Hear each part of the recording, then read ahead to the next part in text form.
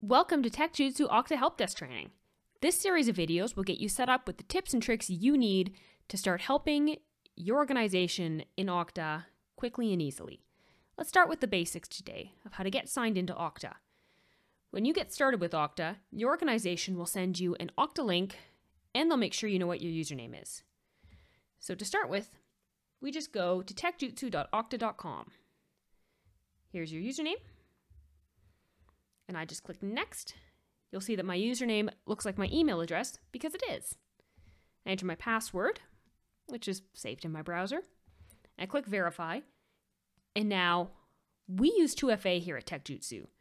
So when I click this button, I'll get a push notification from the Okta Verify app on my phone. Once I click yes on this push notification, I'll be signed right into Okta. And it's just that simple. I can now access the admin portal to start helping people by clicking this admin button up here at the top right of my screen. And done. I'm ready to start helping callers.